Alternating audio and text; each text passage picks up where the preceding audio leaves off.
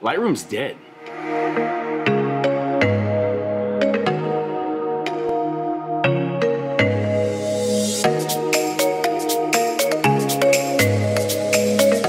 So I want to start first off and foremost.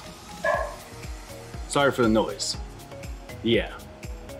Also, sorry for this giant mic in the way. I gotta figure out a place to put it so it's not in frame. But you know, testing out my new my new mic. So I'm pretty excited about that. Why do I say Lightroom's dead? Well, so during quarantine time, a couple guys, but honorable mention here, Peter McKinnon.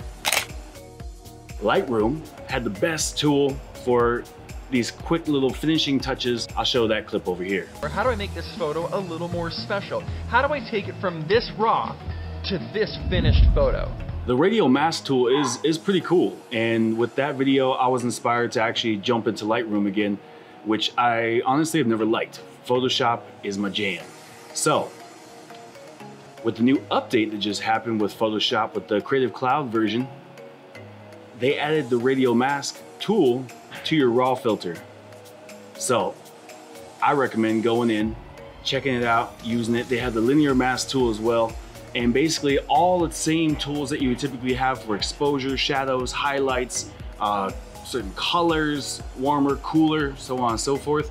Um, that's how I kind of felt about Lightroom before. I felt like it was the same thing as the raw filter tool.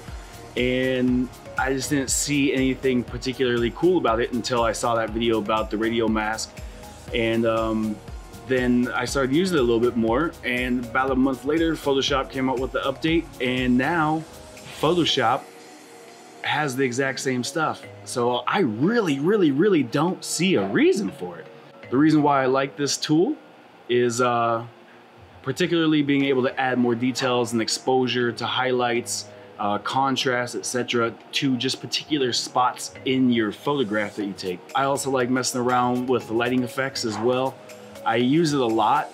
Um, I love using the lighting effects in Photoshop for photos because sometimes you're just you're missing a light that may be necessary when you're actually shooting. And um, you know that's slack on my end but I'll show you some little tips and tricks things that I do in this little clip just showing you some kind of cool things you can do with the radial mask and linear mask. Being able to add just details to certain areas in your photo being able to heighten the exposure or bring it down your highlights your shadows etc uh, I think it's pretty cool and you can sharpen up parts of the images that maybe you just want to bring a little more focus to visually for the eyes and I think that this is a pretty cool tool and I'm happy now that it's just integrated into Photoshop. It's awesome. Some things that I did before I tried using the tool when it was in Lightroom was that I would basically just layer things. So I'd take my basic layer, I'd edit that, and then I would take, copy that layer, I would take it, maybe increase the sharpness and the clarity in one certain spot and then layer that on and erase the rest of it and just kind of feather it into it myself with the eraser tool. This is definitely a productivity tool and it has been a game changer. I think it's gonna be awesome for a lot of the stuff that I do and I'm pretty stoked for it. So I hope you guys enjoyed this video and I hope you guys found it useful, something you guys can uh, play around with. And as always, stay creative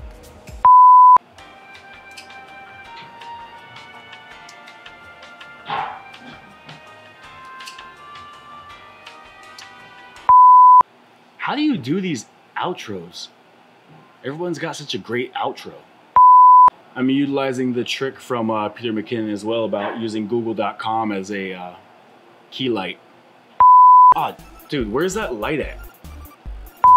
Yeah, the Daniel Schiffer light. Ah, I'll go get it. I'll go get it. Yeah. Ah, sweet, right? The hell is it? Uh, it's it's a ring light that I made after watching uh, Daniel Schiffer's basically a budget-friendly ring light thing. Uh, you guys think of anything to use these for? These are the heat sinks off the dual CPUs of a of a PS3 that I took apart. Yeah. Yo, yo, Josh, yo took your idea about the mobile charging case as well. Appreciate that. Check this out. Oh yeah.